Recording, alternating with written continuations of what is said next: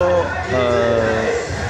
杨夏赶快要从这个情境抽出来，就是说，当然就是能够再继续有这个机会才对，因为裁判如果一直误判，这样子对我们教练这边来讲会比较吃亏。就就就施打率太高，所以变成都没有办法有效掌握到一些。这个球右半边形成了安打，这时候跑者在三垒停下来。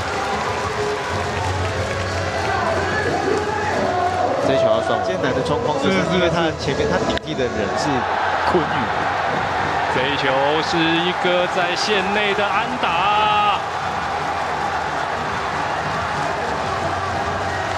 来啦啊！几年前的养分，哦，终于爆发了哦！各位校迷朋友，好不好？团长五月十四号之后开始自愿当曾颂恩明星赛票选。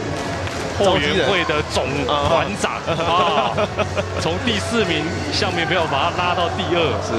这个票没有白投他，没错，继续给他支持。是。他想要成为明星，嗯，这个卑微的愿望我们就帮他 达成。不是有，其实有时候选手有，我是很鼓励啊，有那个目标，没错，勇敢的讲出来，没错，是有在锁变化球做攻击哦。拉回来，在三垒方向，这个车步变单打出现，岳东华回来，后面的曾松恩绕过了三垒之后呢，也要来抢攻本垒，陈俊秀滑上了二垒，这是二连打，再带有两分的打点，现在中信兄弟在三局下有一个大局的产生啊，三比一逆转领先。哇，刚才还在讲说，这个头部可能要稍微注意一下，那种内角高的速球应该在。二三的有人这个时间也是打者要去打的一个球，但是文风不动的时候，是不是有在锁定变化球哦？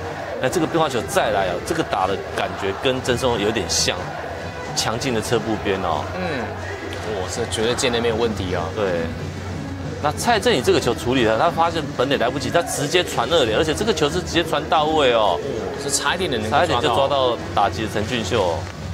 所以陈俊秀还是赶快的去。大家好，我是边尔玉。